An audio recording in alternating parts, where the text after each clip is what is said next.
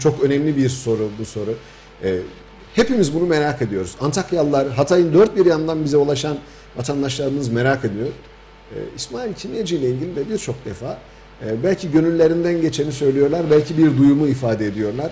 E, Büyükşehir Belediye Başkanlığı noktasında aday olduğunuz e, ifade ediliyor. Sizin aday gösterileceğiniz söyleniyor ve e, bu noktada da birçok kişi eğer İsmail Kimyacı Büyükşehir'e aday olursa e, bu sefer Büyükşehir AK Parti'nindir diyorlar. Siz ne diyorsunuz, ne düşünüyorsunuz başkanım? Böyle bir düşünceniz var mı? Adaylığınız söz konusu mu? Ben milletimizin bu güzel düşüncelerinden dolayı, teveccühlerinden dolayı şükranlarımı sunuyorum.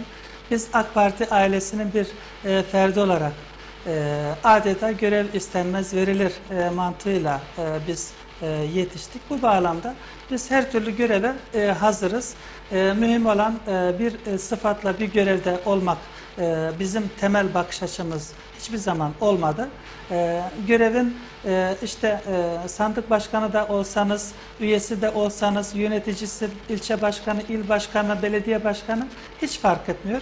Yani görev önemli değil. Önemli olan AK Parti ailesinin bir mensubu olmak ve milletine, e, devletine, vatanına, bayrağına, e, aşkla, sevgiyle hizmetin bir parçası olmak bizim için kafi. Bu bağlamda e, milletimizin teveccühleri, e, partimizin e, ve çok kıymetli e, partimizin genel başkanı, AK Partimizin genel başkanı, Sayın Cumhurbaşkanımız Recep Tayyip Erdoğan'ın takdirleriyle e, bu e, aday belirlenmiş olacak. E, teveccüh hangi yönde olursa biz bu ailenin bir ferdi olarak e, her türlü göreve hazırız ve e, hangi sıfat olursa olsun hiç fark etmez. Üyesi dahi olmak bizim için bir şereftir. Önemli olan hizmetin bir parçası olmak bizim için esastır. Bu minvalde biz çalışmalarımızı devam edeceğiz. Mevcut görevlerimizi nasıl ki bugüne kadar e, sanki yarın bir seçim olacakmış gibi sadece yol yapmak, hizmet etmek e, değil, aynı zamanda milletimizin gönlüne e, yollar yaparak, köprüler inşa ederek gönül köprüleri kurmak için de gayret gösterdik. Bu çalışmalarımız e, bundan sonraki süreçte de eksilmeden artarak inşallah devam edecek. Aslında tabii milletimizin gönlünde olan yerinizi biz eminiz ki partinizden de bu işe karar verecek insanlar da biliyor ve mutlaka ki AK Parti'nin en çok bilinen özelliklerinden birisi de sürekli araştırmalar yapması, vatandaşa sorması.